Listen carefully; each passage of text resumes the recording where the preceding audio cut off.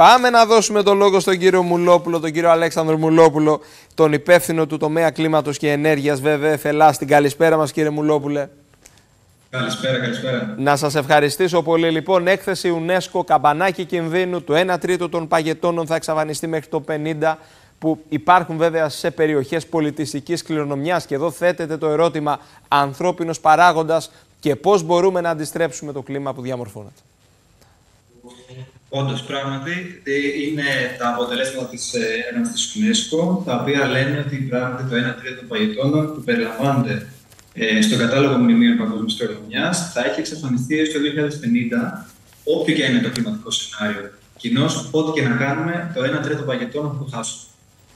Πάντα λοιπόν να μειωθούν άμεσα οι παγκόσμιες εκπομπές αερίου θερμοκηπίου, προκειμένου να διατηρήσουμε τα υπόλοιπα δύο τρίτα. Και επειδή το αναφέρατε κιόλας, είναι σημαντικό να κάνουμε και τη σύνδεση και να δούμε και εμάς πώς μας επηρεάζει το λιώσιμο βαγετώνων στην άλλη άκρη της γης. Ε, εδώ πρέπει να πούμε ότι το λιώσιμο βαγετώνων είναι το αποτέλεσμα της παγκόσμιας αύξησης της θερμοκρασίας και από τα πιο χαρακτηριστικά σημάδια της κλιματικής κρίσης που βιώνουμε τα τελευταία χρόνια. Δυσίωνες ε, προβλέψεις και κάπως προβληματιζόμαστε καθώς σε κάθε συζήτηση προτρέπουμε τον κόσμο και λέμε μπορούμε να κάνουμε αυτό προκειμένου να πετύχουμε αυτούς τους στόχους και να καλυτερεύσουμε λίγο το σκηνικό, αλλά στη συγκεκριμένη περίπτωση δεν μας μένει κανένα περιθώριο. Τα περιθώρια στενεύουν. Ε, κάθε χρόνο ε, θα γίνονται και πιο δύσκολες συνθήκες και, και τα περιθώρια που έχουμε. Διανύουμε μια κρίσιμη δεκαετία. Ε, είναι σημαντικό η, να λάβουμε άμεσα μέτρα. Και εδώ χαρακτηριστικά να αναφέρω ότι από την Κυριακή έχει ξεκινήσει στην Αίγυπτο η 27η διάσκεψη των ΗΠΑ για την κλιματική αλλαγή. Είναι κρίσιμη σημασία η διάσκεψη για την εκθέτηση του λήπτου. COP27. Εκεί συναντιούνται. COP27, πολύ σωστά. Συναντιούνται οι παγκόσμιοι ηγέτες και θα πρέπει να συμφωνήσουν πώς θα μετατρέψουν εφηγόντως τις δεσμεύσεις των περασμένων ετών σε πράξεις ώστε να προχωρήσουν στον τεράστιο, τεράστιο μετασχηματισμό που απαιτείται προκειμένου να πετύχουμε τον ε, στόχο του 1,5 βαθμού.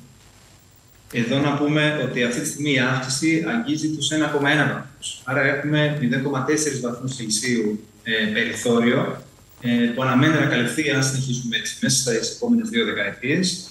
Αυτό είναι το περιθώριό μας για να καταφέρουμε να αντιστρέψουμε και να αντιμετωπίσουμε την κλιματική κρίση. Ποιες περιοχές ε, αφορά η έκθεση συγκεκριμένη, ποιες περιοχές βρίσκονται στο κόκκινο; Εγώ διαβάζω χαρακτηριστικά την ε, Αφρική και τους παγετώνες της ε, Αφρικής. Ένα πολύ μεγάλο μέρος των οποίων αναμένεται να εξαφανιστεί. Ναι, ε, να πούμε ότι γενικά το λιώσιμο των πάγων δεν αφορά μόνο ε, μακρινά μέρη σε εμάς. Σίγουρα αφορά την Αφρική, σίγουρα αφορά, όπως είπατε, και την Αφρική και τις Ηνωμένες Πολιτείες, καθώς και την Κίνα, αλλά αφορά και την Ευρώπη. Ε, χαρακτηριστικά, οι παγετώνε στα Πυρηναία, ε, ανάμεσα σε Γαλλία και Ισπανία, αναμένεται να εξαφανιστούν. Το ίδιο και οι παγετώνε που βρίσκονται στις Δολομητικές Άλπε στην Ιταλία. Να θυμίσω επίσης ότι αυτές, αυτές, αυτά τα φαινόμενα έχουν και διάφορες επιπτώσεις. Χαρακτηριστικά πριν από μερικούς μήνες είχε σημειωθεί και ένα περιστατικό που αποκολλήθηκε ένα κομμάτι παγετώνα στην Ιταλία και παρέσυρε κάποιους ανθρώπους που είχαμε αντιστοιχεία αποτέλεσμα. Ε, οπότε αυτό είναι ένα αποτέλεσμα της κλιματική κρίσης και μαζί και άλλες πολλές επιπτώσεις πέρα από το λιώσιμο των πάγων, όπω είναι η μέρες ε, του κάψωνα που θα αποφύγουν, μέρες που θα υπάρχει ψηλότερο κίνδυνο για πυρκαγιές, θα υπάρχει άνοδος στη στάθμη της θάλασσας, ε, στον αντίποδα θα μειωθούν οι προκοπτώσεις και θα υπάρχουν και σημαντικές επιπτώσεις Μάλιστα. Κύριε Μουλόπουλα, να σας ευχαριστήσω θερμά. Θα έχουμε την δυνατότητα να παρακολουθούμε τις εξελίξεις, να δούμε και τα βασικά συμπεράσματα βέβαια της συνόδου και των επαφών που έχουν οι ηγέτες με αφορμή συγκεκριμένες αποφάσεις. Και εδώ είμαστε να τοποθετηθούμε και να τις κρίνουμε βέβαια. Να σας ευχαριστήσω πολύ. Ευχαριστώ, ευχαριστώ και Σας ευχαριστώ θερμά.